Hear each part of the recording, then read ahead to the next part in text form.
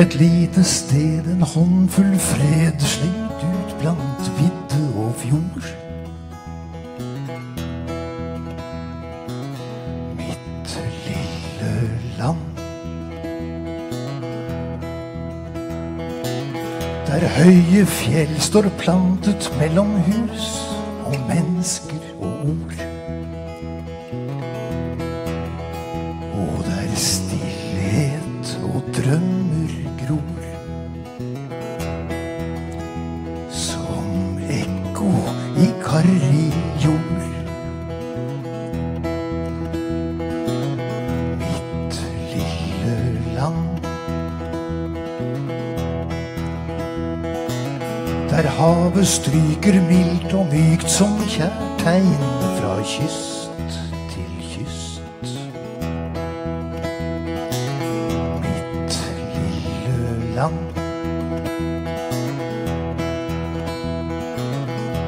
stjerner glir forbi og blir et landskap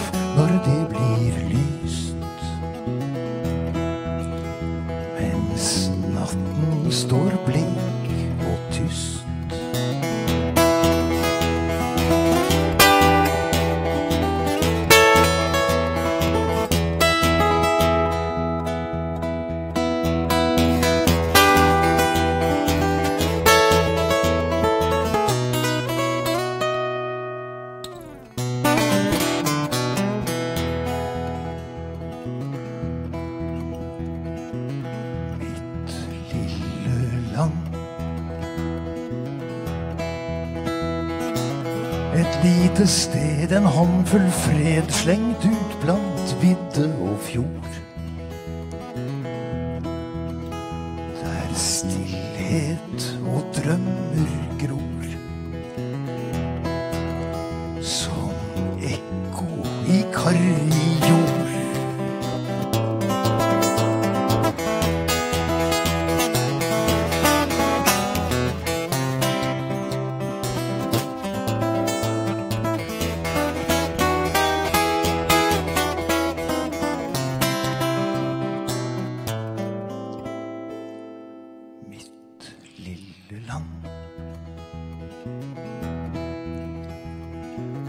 Der høye fjell står plantet mellom hus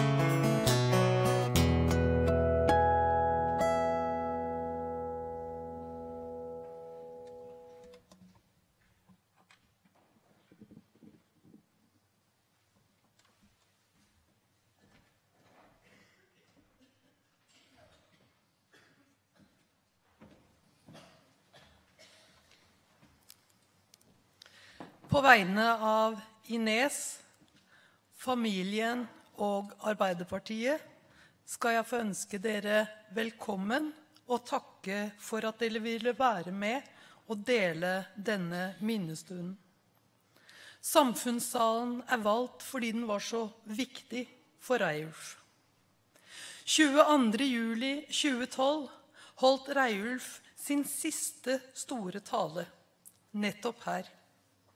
Utøyavenner markerte ettårsdagen etter terroren som rammet Norge. En full sal fikk høre en engasjert, aktuell, varm og klok tale. En tale preget av realisme i forhold til de politiske utfordringer i dagens Norge og Europa, og som vanlig var talen gjennomsyra av framtidstro. Man kunne være enig eller uenig med Reiulf, men én ting er alle enige om. Når Reiulf talte, var det umulig å være likegyldig. Med sine underlige kunstpauser på de merkeligste steder fikk han oss til å tenke og fordøye ordene. Reiulf fortalte ikke om verden rundt oss. Han tok oss med ut i verden. Vi hørte ikke fortellinger om slit, armod og urett. Nei, der og da så følte vi uretten på kroppen. Og vi følte et brennende ønske om å gjøre noe med det. Ikke bare det. Han fikk oss til å tro at vi kunne lykkes. Han fikk oss til å tro på framtida. Sosialdemokratiets idé kan neppe beskrives særlig bedre enn slik han gjorde det i dette sitatet. En felles offentlig skole for alle har vært en bærebjelke i det norske demokrati. Fellesskapet i skolen fører til at barn oppnår en evne til sosial innlevelse som er ukjent i samfunn der skoletilbudet er lagdelt. Nå er det ikke lenger mulig å spørre Reiulf til råds, verken for familien eller for de utallige vennene i inn- og utland. Men Reiulf vil bli husket. Reiulf vil bli husket for sitt nærvær og sin tilstedeværelse. Han vil bli husket gjennom sitater fra bøker, taler og debattinnlegg. Han var moderne, med tro på framtida. Derfor vil Reiulf også være med oss, selv om han er borte. Ines har mistet sin elskede mann gjennom 35 år. Reiulf og Ines familie har mista sin kjære Reiulf. Et hav av nære og fjerne venner har mista sin gode samtalepartner. Arbeiderpartiet har mista en stor leder. En sjelden blanding av tvil og kompromissløshet. Kompromissløs i kampen for de fattigste, for demokratiet og mot undertrykkelse. Som Jens sa det i sin minnetale lørdag som var. Reiulf gjorde partiet større og Norge klokere. Vi har mista en betydningsfull stemme.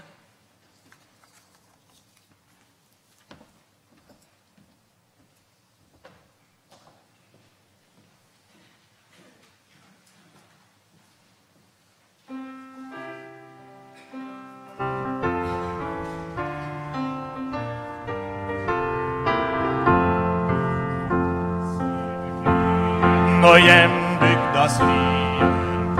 Ser du bølgene, åser og fjell? Det er folkets og framtidas Norge. Det er ditt, du skal eie det selv.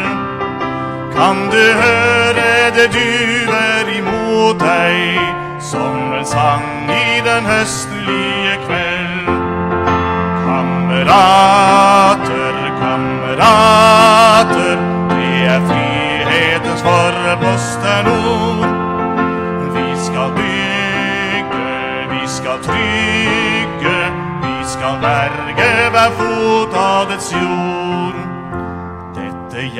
hjem er vår dyreste eie. Her har slekten i hundrer av år gjennom hverdagens trofaste virke ryddet grunnen for arbeidets kår.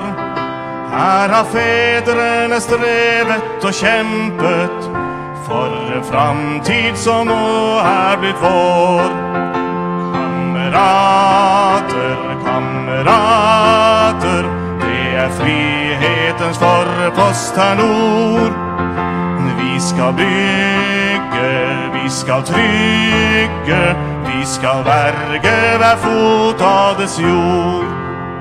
Se det lysner av dag over landet, og det gror selv i kløfter og skar.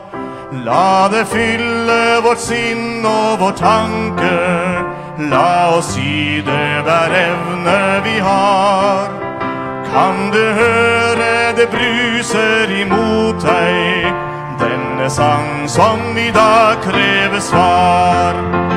Kamerater, kamerater, det er frihetens forpost her nord. Vi skal bygge, vi skal trygge, vi skal berge hver fot av dets jord.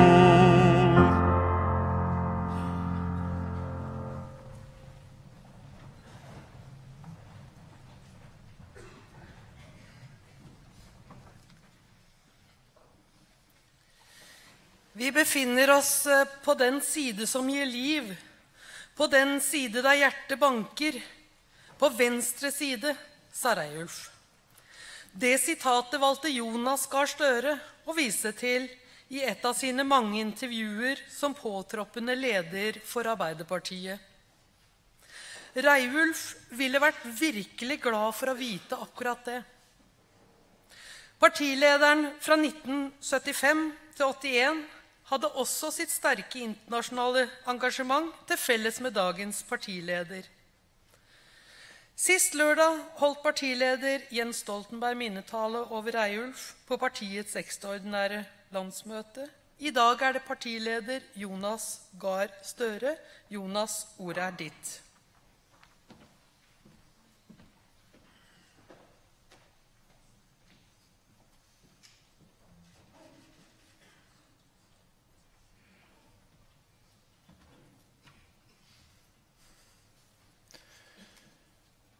Kjære Ines, kjære Robert, Martin, Henrik og Nils Otto.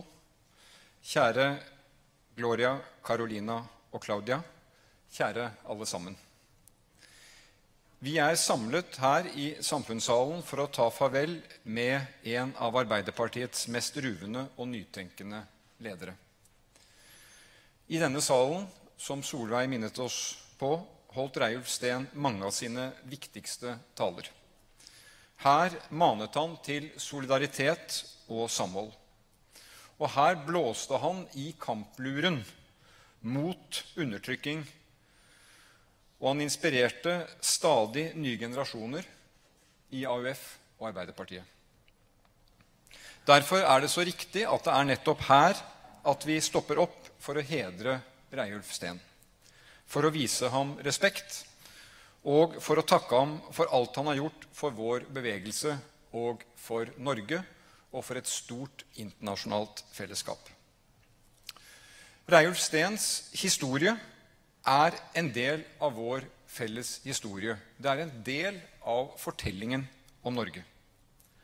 Han ble født inn i et klassedelt samfunn og vokste opp i et typisk arbeiderhjem i Hurum.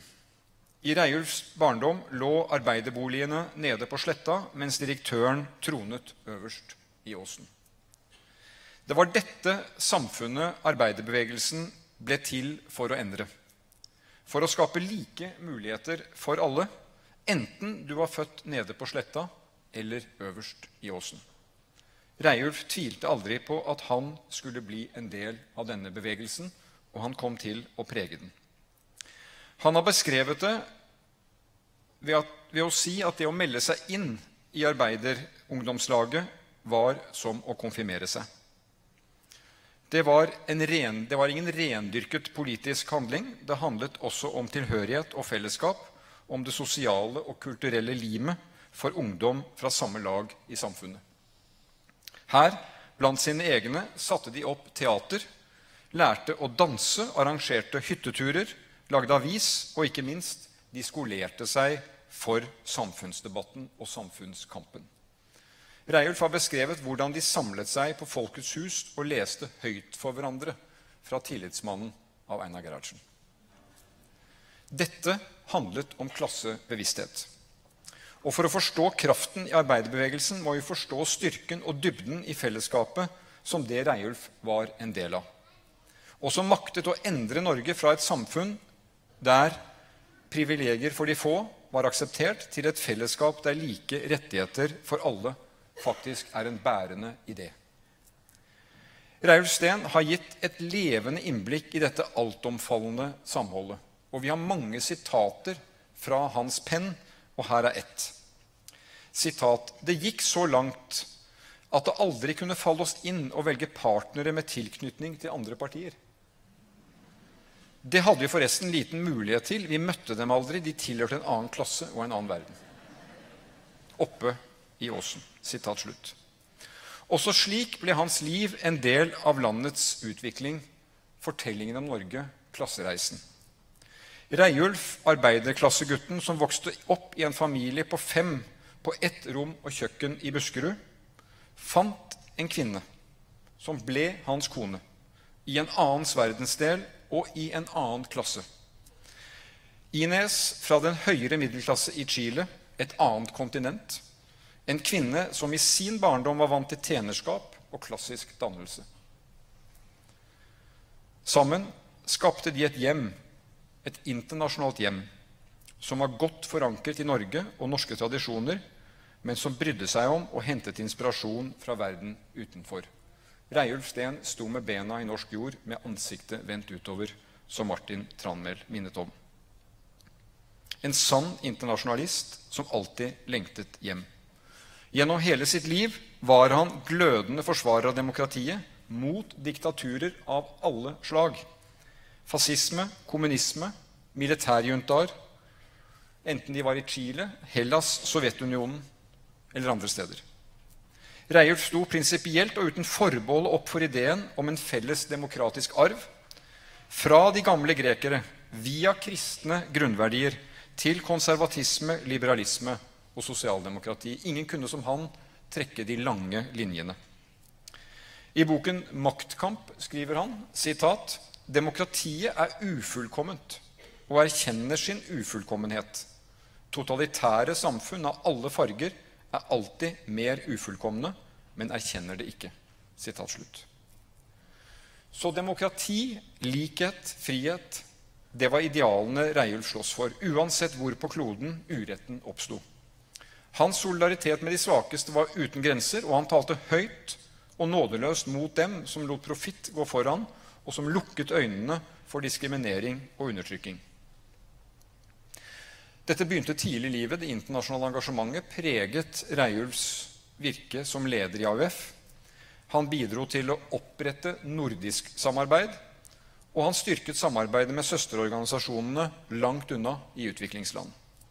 Senere ble han visepresident i Sosialistinternasjonalen, og han sto i spissen for anti-apartheid-arbeidet i Sør-Afrika og solidaritetsarbeidet for Chile, landet han mange år etter reiste til som Norges ambassadør og han var en utrettelig forkjemper for europeisk samling og samarbeid. De to eneste utmerkelsene han valgte å ta imot, ble gitt av presidentene i Sør-Afrika og Chile i takknemlighet for Reiulf Steens uegennyttige bidrag til demokrati og fred.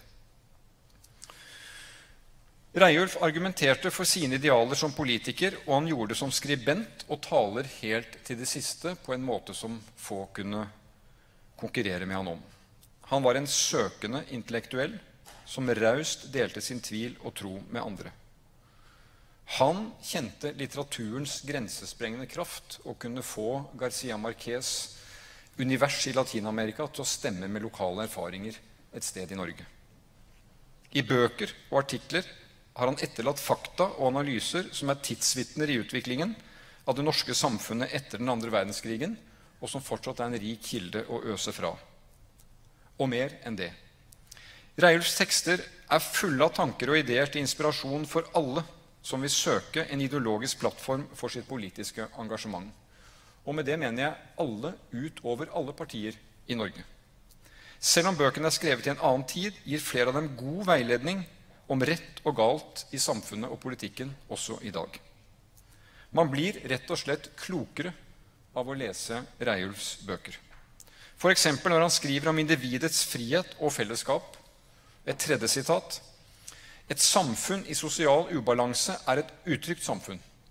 Og derfor er et samfunn som er ufritt også for det enkelte individ.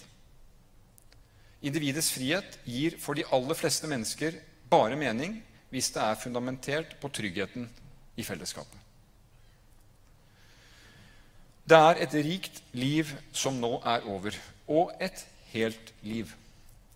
Reiulf delte også sine personlige nederlag med oss. Det ble vi klokere av. Og det gjør ham ikke mindre som menneske. Tvert imot. Hans ærlighet gjør hans minne sterkere.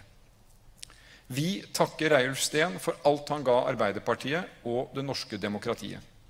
I mange verv gjennom mange år leder av partiet, stortingsrepresentant og statsråd.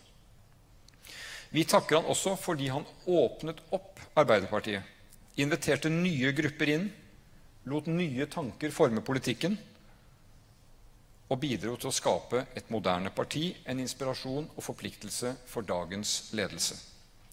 Og vi takker ham for at han holdt partiet samlet i den kritiske tiden etter EF-striden på 1970-tallet. Det var helt avgjørende for at Arbeiderpartiet kunne bli en dominerende kraft i norsk politikk helt frem til i dag. Og kjære familie, selv om Reiulf Steens stemme har sluknet, så skal dere vite at hans ideer vil leve videre i oss og med oss. De vil for alltid minne oss i Arbeiderpartiet om hvem vi er til for, og hvem vi aldri har lov til å svikte. Og kjære Ines, Reiulfs håp er vårt håp. Hans drømmer er alle menneskers drømmer. Det farver ungdommen i Arbeiderpartiet, og det farver de godt voksne. Som når han i boken 'Jordskjelv' leker med tanken om at Latin-Amerika kan bli det 21. århundrets kontinent. Vi følger det i disse dager på fotballbanen og føler at det er magi når Latin-Amerika spiller. Men han skriver etter børsnoteringer, vekslingskurser og finansmarkeder trenger vi noe større. Som temperament, empati og følelser, slik det kan uttrykkes i litteratur og musikk, og slik du møter det i mennesker fra Latin-Amerika, som man elsket, og som man ble en del av. En vakker drøm fra et menneske med et klokt hode og et varmt hjerte. Vi lyser fred over Reiulf Steens minne.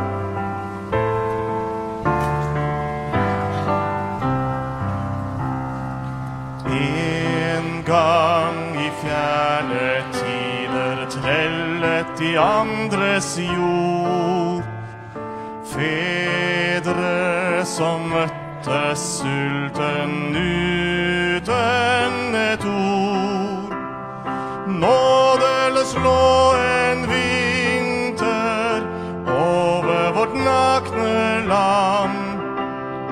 Da så de våren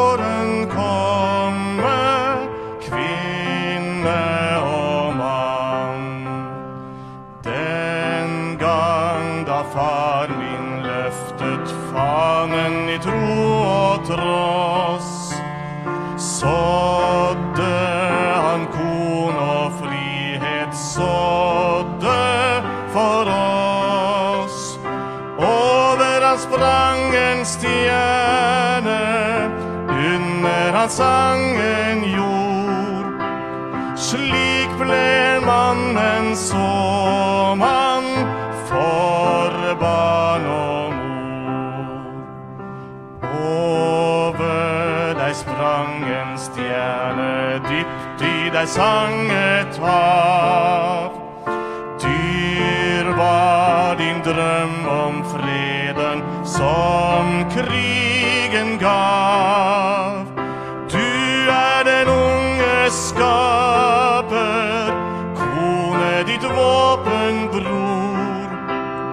Så la din sang få klinge vidt over jord.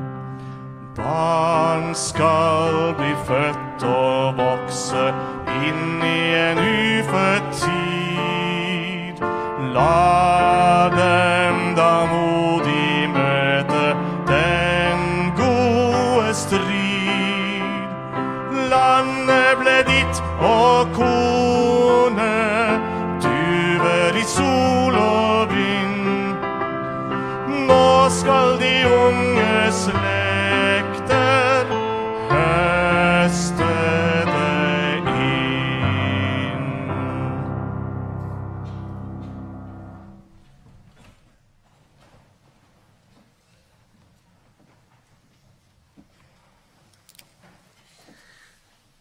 alltid vært stolt av mitt AUF-medlemskap. Men aldri har jeg vært så stolt som nå, sa Reiulf på minnesamværet etter 22. juli her i samfunnssalen året etter terroren ramma. Hans klare beskjed var vi er ikke samla her for å markere nederlag. Vi er samla her for å forberede nye seire. Reiulf ble svært glad for boka om Utøya som ble utgitt. En øy han hadde tilbrakt mer tid på enn noen andre. Som deltaker, som leirsjef og som taler. Men Reiulf var også til stede på samlingene for Utøya-veteraner. Reiulf var både sekretær og formann, som det het, i AUF. Det gir et livslangt forhold. Ingenting er mer naturlig enn å gi ordet til dagens AUF-leder, Eskil. Vær så god, Eskil.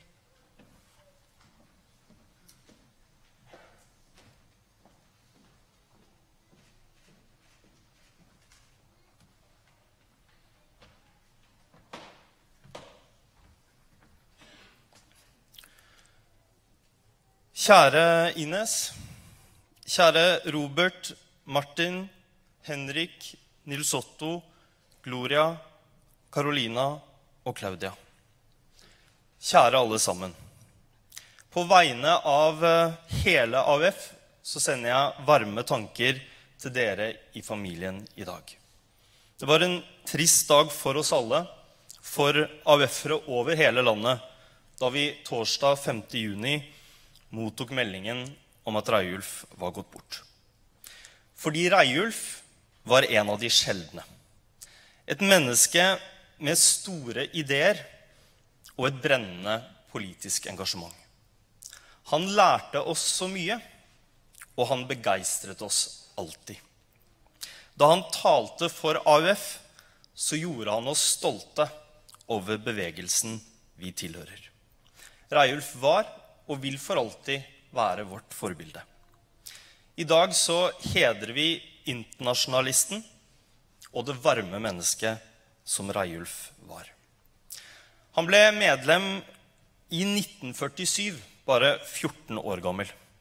Og før han hadde rukket å fylle 15, så hadde han holdt sin første tale på arbeidernes dag 1. mai. Det var tydelig at det var en kommende politisk storhet som hadde startet sitt politiske virke. Ansvar og tillit ble han raskt gitt, først som lokallagsleder på Hurum, senere som AUFs formann. Han har satt sine tydelige fotavtrykk i det norske samfunn.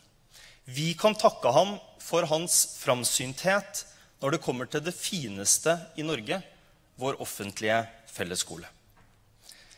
I et eh, så langt politisk liv ble det naturligvis politiske kamper. I stormen fant han alltid støtte i AUF, og AUF støttet han villig tilbake. Utøya sto han, som vi vet, veldig nært.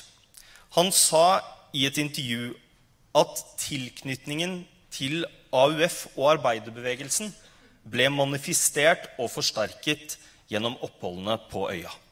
Der hadde vi et sted å være, synge sangene våre, møte kjærestene. Vi var så stolte, nesten barnslige, over at vi behersket organisasjonskunnskap mye bedre enn de andre ungdomspartiene fordi vi hadde Utøya. Og på Utøya forble Reiulf en fast gjest gjennom hele sitt liv. Hans eh, engasjement for øya viste han også på sin 80-årsdag da han ba om at gaver gis i støtte til fondet for gjenreisningen, og det rørte oss dypt i hjertet. Etter 22. juli viste han på nytt at han var en kjær AUF-venn. På tross av sin egen sykdom stilte han opp for oss. Han talte AUFs sak, ga støtte. Han var de eldre storheters stemme for den yngre generasjon. Jeg har alltid trodd på ungdommen men aldri så sterkt som i dag, sa han sommeren 2012. Det beskriver godt hans nærhet og tillit til AUF. en tillit som var gjensidig. Reiulf står som en bauta i vår bevegelse. En tydelig ideolog, en tillitsmann, ja, en helt for mange av oss. Og Derfor hedret vi Reiulf på vårt landsmøte i oktober 2012 ved å utnevne han til æresmedlem av AUF. Kjære Reiulf. Ditt livsverk og ditt ettermæle er et levende eksempel på ordtaket 'en gang AUF-er, alltid AUF-er'. For du har alltid vært en av oss. Helt siden du konfirmerte deg og meldte deg inn i fylkingen, så har ditt hjerte vært rødt, dine ben godt planta på venstresiden og ditt blikk framtidsretta. Som du selv sa det, vi er på den siden der hjertet banker. Men selv om Reiulf er borte, så lever ideene videre. Frihet, likhet, solidaritet. Han var først og fremst en internasjonalist. Frihet og rettferdighet i Norge det var ikke nok for han. En rettferdig verden var målet. Fra Hurum til Hellas, fra Jungstorget til Chile. Med hans egne ord sa han det fint. Utøya gjorde oss til internasjonalister, og det var kanskje det viktigste som skjedde meg. Under Reiulfs tid som formann i AUF bidro han til økt internasjonalt engasjement i organisasjonen. Han styrket samarbeidet med broderorganisasjoner i den fattige delen av verden, samtidig som han var med å opprette det nordiske samarbeidet som vi kaller Foreningen for nordisk sosialdemokratisk ungdom. Det samarbeidet lever kraftfullt videre den dag i dag. Som formann bidro han til en spissere ideologisk debatt både i AUF og opp mot partiet. Han var, stadig, han var opptatt av stadig fornyelse for at bevegelsen skulle oppleves som relevant. Og Derfor var det kanskje ikke så rart at Reiulf ble valgt inn som et ungt Eh, og frisk pust i partiledelsen i 1965. Han hadde en helt unik evne til å heve seg over dagspolitikken og få fram de gjeve politiske visjonene. Jeg tror det var det som ga han en så spesiell plass i de unges hjerter. Nå har Reiulfs tid sammen med oss tatt slutt. Men han skal fortsette å frakte generasjoner av AUF-ere framover med troen på en bedre verden, slik at vi viderefører hans arv om frihet, likhet og solidaritet. Kjære Reiulf, du skal vite at du inspirerte unge mennesker mer enn du kanskje helt kunne forstå selv. Det sies at ungdommene skal utfordre og holde de voksne i ørene. Men du var beviset på at det motsatte også kan fungere. Fordi du utfordret også oss. Jeg husker dine taler i nyere tid. Ofte på AUF-konferanser der du beskrev en verden som påkaller oss til å kjempe enda hardere for internasjonal solidaritet. Det var ditt varemerke. Et tidløs engasjement som smittet, og som var troverdig fordi du brukte livet ditt til å kjempe for det du trodde på. Vi vil være dypt takknemlig for din store innsats for bevegelsen og de verdiene vi tror på. Vi lyser fred over Reiulf Steen sitt minne.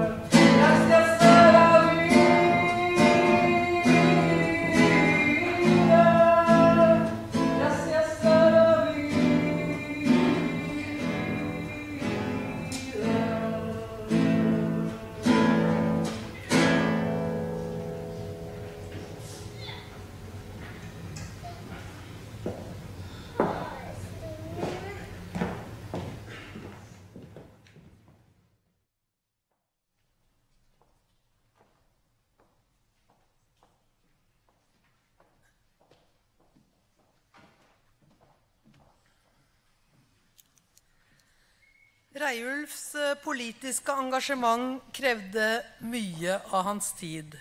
Først og fremst partiet, men også Stortinget og to statsrådsposter krevde sitt. Reiulf var overalt. Hans internasjonale engasjement var bokstavelig talt uten grenser. Naturlig nok ble forholdet til Chile helt spesielt. Det var også dit den siste utenlandsreisa til Ines og Reiulf gikk. Han hadde en nærmest grenseløs tillit til legene i Chile. Det var der han en gang fikk hjelp til endelig å bli kvitt sine ryggplager. Reiulf var både glad i og stolt av sine barn, og av Ines sine barn.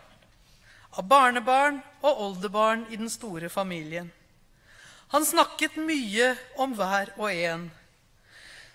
Dere måtte dele Reiulf med så mange andre. Slik følte mange at vi kjente dere, til og med før vi møttes for første gang. Robert Reiulfs eldste sønn er et eksempel på dette. Vær så god, Robert.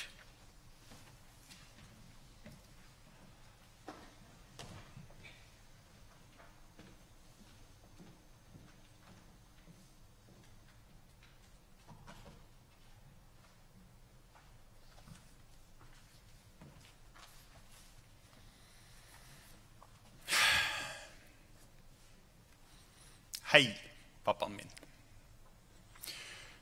Du var der da Nils Otto, Martin, Henrik og jeg tok våre første skritt. Vi var der da du tok dine siste. Livets sirkel er sluttet. Det er sånn det skal være. Likevel er det forferdelig trist å stå her i dag.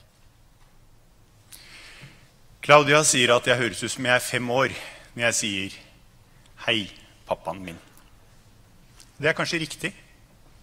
Jeg har alltid sagt 'Hei, pappaen min' når vi møtes, og når vi snakker sammen på telefon. Fredagene var vår telefondag. Da opplevde vi det vi begge var enige om var fantastiske, innsiktsfulle og berikende meningsutvekslinger mellom noe så sjeldent som to intelligente mennesker. Nå har jeg snart sagt 'hei, pappaen min' for siste gang i mitt liv. Og det som vil etterlate et stort tomrom hos mange, med meg, er at vi ikke lenger skal ha våre fredagssamtaler. For din venn Per så vet jeg at det var onsdager. Andre hadde andre dager med deg.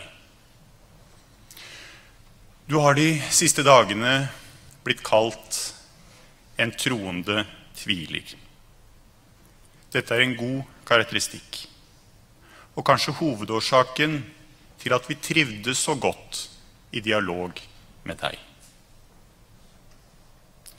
Du har alltid vært åpen varm, nysgjerrig og kunnskapsrik. Og samtale med deg har alltid vært en berikelse. Å diskutere med de som har alle svarene, er verken givende, interessant eller særlig verdifullt. Du hadde ikke alle svarene. Du var noe så sjeldent som et sterkt, innsiktsfullt søkende og kjærlig menneske på samme tid. Din styrke fikk du delvis via ditt DNA fra bestefar Nils og bestemor Astrid. Og delvis fra et miljø der du allerede tidlig i din politiske karriere ble kvernet mellom politiske mastodonter som Einar Gerhardsen og Håkon Lie.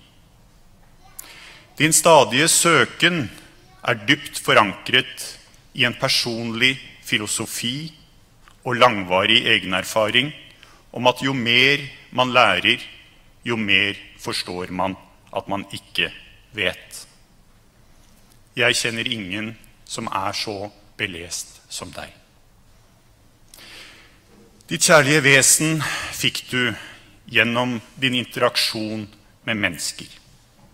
Jeg kjenner heller ingen som kjente og som kom nær så mange spennende, varme og engasjerte mennesker fra alle verdens hjørner som deg, pappaen min. Det måtte i så fall være din kjære venn Thorvald. For mange år siden sa du til meg om jeg skulle dø i morgen, så ville jeg være fornøyd. Om jeg skulle dø i morgen, så ville jeg være fornøyd. Denne refleksjonen, som definitivt var sann og oppriktig fra din side, gjør det lett for meg å stå her og uttrykke det som ofte oppleves som en floskel. Vi er ikke her for å sørge over en død. Vi er her for å feire og for å minnes et liv og en som turte å leve. En av dine yndlingsforfattere var Maners Berber. En av dine yndlingssitater var fra ham. Uten et tilfredsstillende svar på spørsmålet 'Hva fins der å dø for?' vet vi heller ikke hva det er verdt å leve for. Dette kjennetegnet deg. Dette kjennetegnet ditt liv. Fra du ble født som fattiggutt på Setre, til du nå ligger her i samfunnssalen hvor du engasjerte så mange gjennom ditt liv, så har du vært dine røtter bevisst. Du har vært din kamp bevisst. Du har vært dine mål bevisst. Du visste hva det var verdt å dø for. Du visste hva det var verdt å leve for, pappaen min. I så måte har du levd et rikt og innholdsfylt liv. Og du var alltid takknemlig. Et levende og nært bilde på din takknemlighet overfor alt og alle har jeg fra den siste kvelden på St. Halvardshjemmet. Fire dager før du forlater oss for godt. Jeg er der sammen med Claudia, og Claudia hjelper deg med det som i ettertid viser seg å bli ditt siste måltid. Det var norsk husmannskost. Det var lapskaus. En av pleierne kommer inn og spør deg om du vil ha saft, og du svarer med ditt alltid sjarmerende smil. Kan jeg få det, da? Sånn var du, pappaen min. Før meg her i dag så har storesøster Carolina sunget 'Gracias a la vida', eller 'Jeg vil takke livet'. Det valget var ingen tilfeldighet. For 35 år siden fikk du litt overraskende tre døtre. Det er sannsynligvis litt overraskende for alle som får tre døtre på en gang. Disse var sågar chilenske. Gloria, Carolina og Claudia. Du var hos Gloria da du ble syk den siste gangen i januar. Og både Carolina og Claudia var hos deg da du pustet ut den 5. juni. Også her slutter sirkelen på en naturlig måte. Det er andre i dag og i dagene rundt din bortgang som skal snakke om ditt politiske virke og den betydning du hadde i det litt større bildet. Jeg vil dvele litt ved et par av de små og kanskje mer private bildene og det som skjer i skjæringspunktet mellom en politisk leder og hans nære når fokuset ikke alltid er det samme. Forrige kvelden minnet Henrik meg på at for fire fotballgale sønner så er kanskje jobben du hadde, sammen med selveste Bjørge Lillelien, i fremtiden den posisjonen du har inntatt som imponerte oss mest. To andre prestasjoner som vi barna også setter høyt, er at du bygget den midlertidige brua over E18 til Fornebu, som sto i 30 år, og Postgirobygget. For en som aldri har tatt i verken en hammer eller malerkost, så er dette for fire små gutter en ganske formidabel prestasjon. Dette tenker jeg på hver gang jeg kjører forbi Porscher og bygger pappaen min. Men i det store og det hele så var du nok mer opptatt av de lange linjer og visjoner enn det korte, praktiske bildet. Dette gjorde også at du hjemme til tider ble oppfattet som noe distré. Din gode venn Håkon Blankenborg fortalte meg på sykehuset om en kjøretur du og han tok på 80-tallet. Dere skulle fra Stortinget til Parkveien. For de av dere som kjenner lokalområdet i Oslo, så vil dere vite at det er en overkommelig kjøretur på ca. fem minutter. Etter et kvarter stopper praten i bilen i noen sekunder.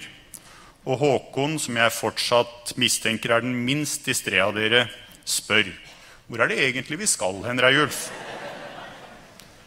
May-Britt, du fortalte meg forrige kvelden da vi satt hos Reiulf, at bilkjøring og teknologi ikke er sterke stider hos pappaens yndlingsniese.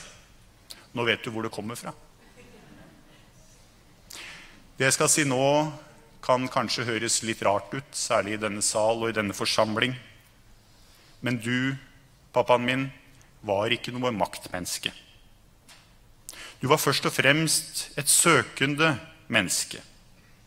Du var et samlende menneske. Du var et engasjerende menneske. Men maktmenneske var du definitivt ikke. Dette holdt på å ødelegge deg i de posisjoner du tok på deg. Du kjempet hele livet for det du trodde på, og du hadde en ansvarsfølelse i forhold til denne oppgaven som gjorde at du tok på deg de posisjoner det medførte. Dette var din gave, men det holdt også på å bli din svøpe. Jeg sa tidligere at jo mer du lærte, jo mer forsto du at du ikke kunne. Du mestret alle fargene i spekteret, så nært som to. Svart og hvitt. Dette gjorde deg til en lyttende pappa. Dette gjorde deg til en kunnskapsrik pappa. Dette gjorde deg til en spennende pappa. Og dette gjorde deg til et genuint verdifullt menneske. Og du var alltid varm, imøtekommende og sjenerøs. Selv under den siste tiden, som ble veldig tøff, var du mer opptatt av hvordan vi andre hadde det, enn å nevne de nesten umenneskelige smertene som herjet i kroppen din. Du var sågar opptatt av at den siste tiden skulle bli lang nok til at vi alle skulle få ta skikkelig farvel. Nils Otto sa det så godt under den aller, aller siste tiden på sykehuset. Den siste reisen, som varte i 90 timer, var akkurat lang nok til at vi alle rakk å få sagt adjø på en skikkelig måte men samtidig ikke så lang at smertene ble uutholdelige. Dette var pappaen vår. Om jeg skulle dø i morgen, så ville jeg være fornøyd. Og så har jeg lovet deg å takke to mennesker spesielt. Det føltes litt rart å akseptere et slikt ønske vel vitende om at det var her, ved din kiste, det skulle skje. Samtidig som det også føltes så naturlig. To mennesker, to kvinner, som fikk en helt spesiell betydning i ditt liv. Den første er din tre år eldre søster Ketlen. Dere mistet faren deres allerede 16.3.1941. Det var krig. Du, tante Ket, var ni år. Pappa var seks. Fagforeningen på Sprengstoffabrikken på Setre arrangerte skirenn. Dere sto i målområdet og hørte høye rop. Førstehjelp, førstehjelp. Og der, ti meter før målstreken, lå faren deres. Bestefar Nils uten å røre på seg. Pappa har fortalt meg at da bestefar fikk øye på ham, rakk han å si Hva skal det bli til med deg nå, da, gutten min? Så døde han. I dag vet vi svaret på spørsmålet til bestefar Nils. Du var der, tante, da din og pappas storebror Robert døde bare 29 år gammel. Og du var der da bestemor Astrid døde. Nå er du her med din siste bror. Pappa sa alltid at i en turbulent tid var det du, fra du var ni år gammel og fram til i dag, som var det faste holdepunktet i familien. Det ble nesten alltid ansett som en selvfølge at Ketlen skulle være der hun var, og gjøre det hun gjorde. Hun er et praktfullt menneske. Mye takk har hun ikke fått. Ikke har hun ventet det heller.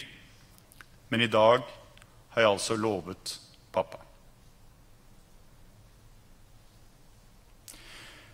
Det andre mennesket som pappa har bedt meg om å nevne spesielt, er selvfølgelig deg, Ines. I juli er det 35 år siden dere møttes i Bommersvik utenfor Stockholm. 35 år siden dere startet en reise fylt av kjærlighet, spenning og turbulens. En reise som syv barn, 13 barnebarn og tre oldebarn til tider har karakterisert som mer preget av storm enn stille. Til denne karakteristikken svarte pappa alltid med det retoriske spørsmålet kunne det ha vært annerledes. Pappa har alltid gitt uttrykk for, og sågar skrevet bøker om, at du, Ines, er et av de sterkeste mennesker han har møtt. Og han har møtt mange sterke mennesker. Vi som har fulgt din reise ved hans side de siste smertefulle år, måneder, uker, dager og timer deler denne oppfatningen. Ved flere anledninger når vi har forlatt sykehus og sykehjem sammen, så har jeg sagt til deg, Ines, du er fantastisk sterk. Ditt svar var hver eneste gang, Robert, dette er ikke styrke, jeg elsker ham. Ines, det fantes ingen Reiulf elsket mer enn deg. Jeg skal avslutte med noen ord som Martin skrev den dagen du forlot oss. Glad i deg. Ikke tenkte jeg der og da at dette skulle bli våre siste ord til hverandre. Tre ord, åtte bokstaver satt sammen akkurat i denne rekkefølgen, billedliggjør det det viktigste vi mennesker har. Kjærlighet, familie, bånd. Pappa var et spesielt menneske, også av sin generasjon. Han har blitt utskjelt, men også bejublet. Han har forarget, men også begeistret. Jeg vet dette. Jeg har visst det hele tiden, selv om det ikke alltid var enkelt. Han sto ikke ofte på krittstreken og så deg spille fotball, selv om drømmen var å bli proff. Han smurte sjeldent eller aldri våre ski, selv om det var i skisporene du selv tilbrakte store deler av fritiden vinterstid. Kanskje derfor tilbringer jeg selv hundrevis av timer på sidelinjen hoiende, pekende, dirigerende. Eller helt sikkert. Derfor smører jeg barnas ski for å sikre best mulig feste og raskest mulig glid. Kanskje gjør jeg dette for ofte. Hva vet jeg? Men én ting vet jeg, for det har jeg opplevd.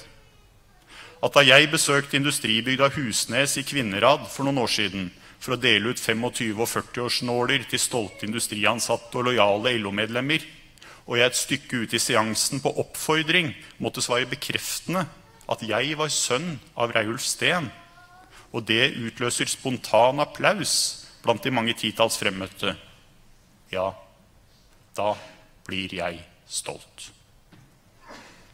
For jeg har fått erfare hva han brukte sin tilmålte tid der sammen med oss til.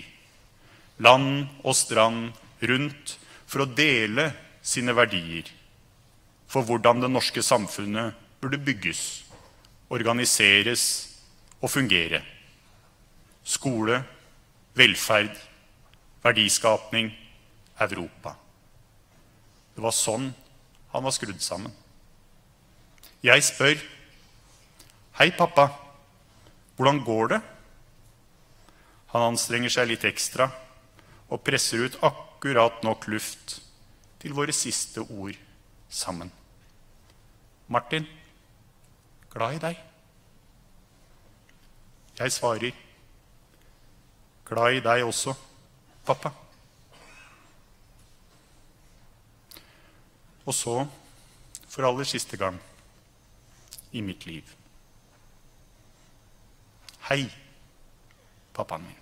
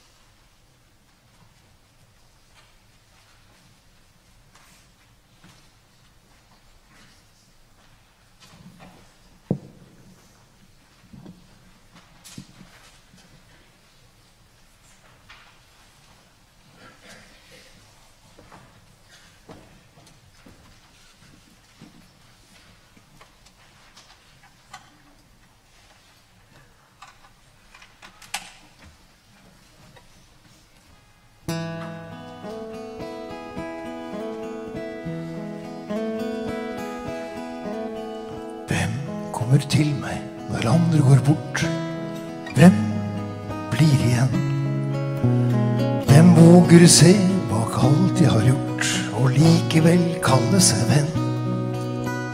Hvem orker se meg som den jeg er, og elske meg som en sønn? Det begynner å bli et liv, dette her. Det begynner å ligne en bønn.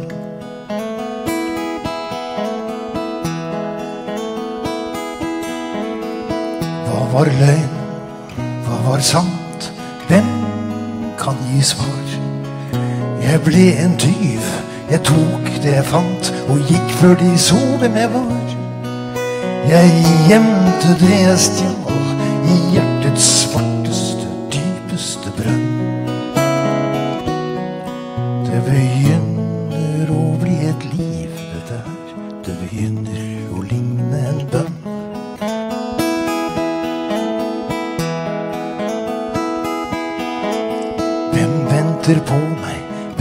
viser vei?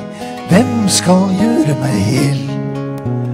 Alt det jeg flyktet fra hjem, søker meg som en hjemlengsel i min sjel.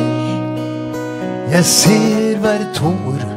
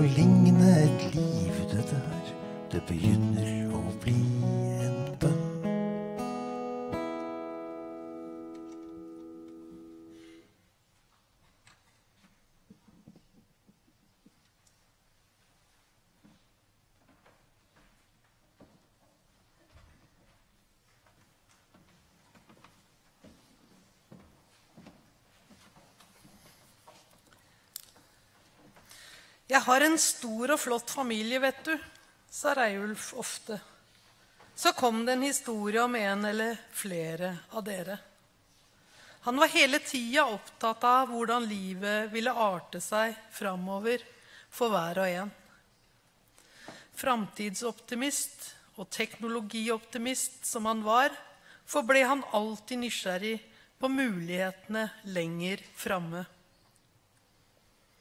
De siste årene var det sykdommen som hindra ham fra å delta i den teknologiske utviklingen. Men når sant skal sies, var han nok kanskje alltid bedre til å snakke om de nye mulighetene enn til å gjøre seg praktisk nytte av det. Tusen takk for at vi har fått låne så mye av din bestefars tid, Josefa. Du kan være umåtelig stolt over hvem han var, og hva han har betydd for så uendelig mange mennesker. På vegne av Reiulfs 13 barnebarn og tre oldebarn, vær så god.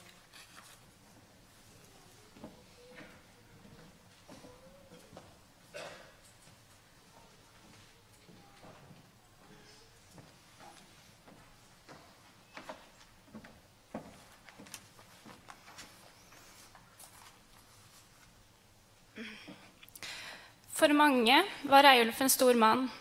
En stor idealist, stor taler, stor politiker. For oss, barnebarna, var han også alle disse tingene. Men han var også noe mer enn det. Han var vår Besse. Besse, bestefar, morfar. Kjært barn har mange navn. Morfar var ikke som bestefedre flest. Han var sjelden ute og lekte, heiagjeng på fotballkamp eller publikum i skoleforestillinger. Når man kom på besøk, var det sikkert å finne han på kontoret sitt foran PC-en med en tent pipe i munnen. Å komme ut derifra gjorde han sjelden før maten sto klar på bordet. Men selv om han ikke var den typiske bestefar, var han en ekte bestefar. Og det å være hans barnebarn var noe helt spesielt. Morfar, du som alltid smilte så bredt og ga store, våte kyss på kinnet og i pannen fordi du var så glad for å se oss. Du som alltid behandlet oss likt, uavhengig om vi var dine biologiske barnebarn eller ikke. Du som alltid ga oss komplimenter og kunne f.eks. si du blir bare vakrere og vakrere for hver gang jeg ser deg. Du som hadde store ambisjoner og mente vi kom til å oppnå store ting her i livet. Du som alltid var interessert i å høre hva vi hadde å si, selv når det ikke var om politikk. Du som alltid var interessert i hva vi holdt på med, og viste interesse overfor livene våre. Du som alltid så det positive i det vi gjorde, i tilknytning til samfunnet. Du som alltid var så takknemlig når vi hjalp deg med ting. Du som var der når vi trengte hjelp og støtte. Du som fikk oss ut av en vanskelig situasjon. Du sånn som ja hvis vi spurte deg om noe. Du sa alltid ja. Du som alltid hadde så mye interessant å fortelle. Du som alltid var så oppmerksom, genuin og snill. Du som har gitt oss gode minner, både her i Norge og i Chile. Du som satt på sjefsplassen ved middagsbordet og under en diskusjon alltid hørte nøye etter, etter hva som ble sagt rundt deg, frem til, til du til slutt, etter å ha godt tenkt deg om, selv kom en kommentar som av en eller annen grunn alltid ble avslutningssvaret, og fikk resten av oss til å bli helt stille. Du som var ydmyk overfor oss omkring hvem du var. Du som har vist oss at ekte kjærlighet finnes. Du som var så veldig glad i oss, noe du viste tydelig. For dette og mye mer vil vi takke deg. Takk for alt du var, og alt du mente vi var. Vi er så glad i deg. Vi savner deg. Og vi er stolte for å kunne si at vi er dine barnebarn. For oss var du alltid stor, men på en annen måte. Det var i løpet av den siste tiden vi har fått mer forståelse av hva du har betydd for andre. Du er elsket av veldig mange, og det så man tydelig de siste ukene. Takk for at vi fikk være en del av livet ditt. Takk for at vi fikk være dine barnebarn. Takk for at du møtte bestemor. Og takk for den mangfoldige familien vi har takket være eh, at du og bestemor møttes. Takk for den du var, det du sa, det du ikke sa, det du gjorde, og det du ikke gjorde. Takk for alt du etterlot deg, og alt du lærte oss. Selv om du ikke er her mer, vil du leve videre. Verdier som rettferdighet, likhet og solidaritet vil leve videre. Ikke bare gjennom dine bøker, artikler, historier og våre minner av deg, men også gjennom oss. Du var en konsekvens av det livet du levde. Du var virkelig alles beste.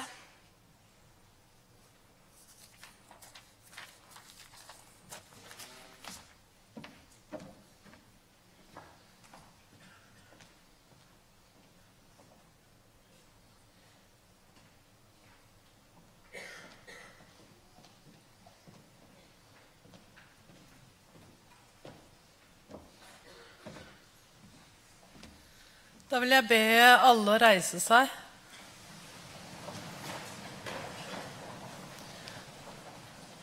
Så lyser vi fred over Reiulf Steens minne med et minutts stillhet.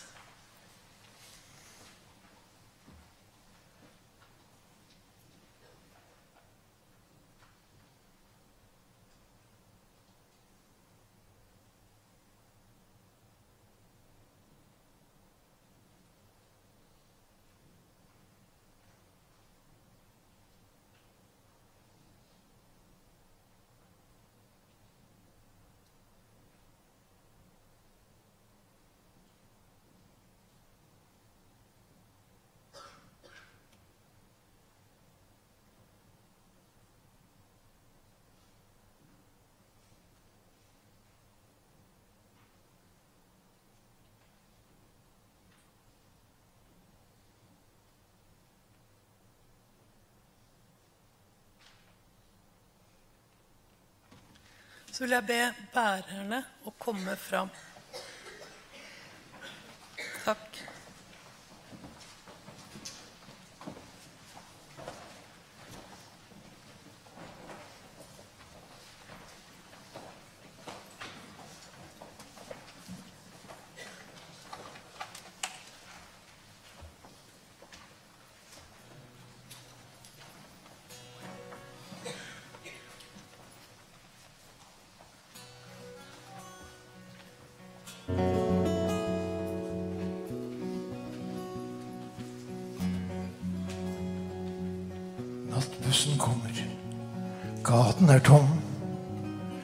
Det er bare meg i hele verden.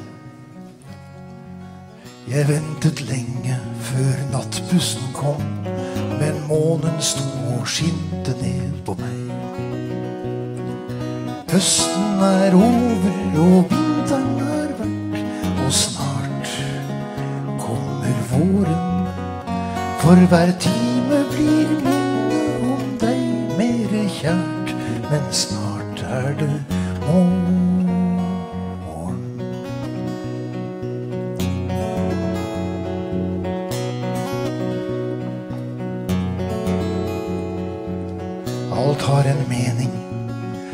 har sin tid. Alt er en del av alt det andre. Gårder og grender seiler forbi som bilder fra et lukket liv. Når natten er overstått, går den sin vei. Ingen vet hvor den går hen. For natten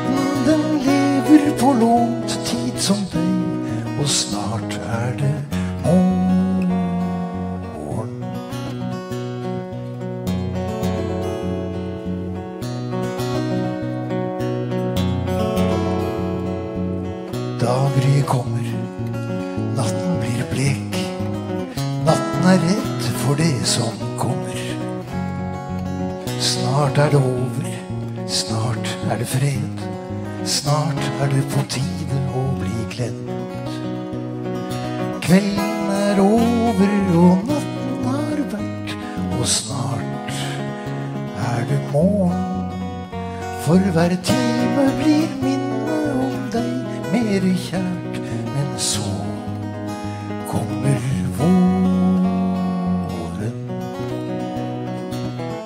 Hva vil jeg fortelle her? Hva prøver jeg å si? Bare at alt er som det er, og som som et vindpust